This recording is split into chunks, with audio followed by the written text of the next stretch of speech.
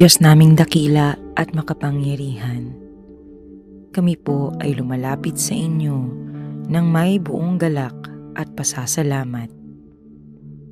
Salamat po sa araw na ito at sa pagkakataong ito upang magtipon-tipon.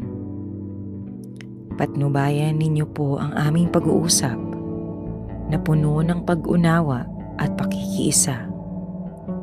Ipagkaloob niyo po ang karunungan at kapayapaan sa aming mga puso. Tulungan niyo po kami na magtulungan para sa kabutihan ng aming mga anak.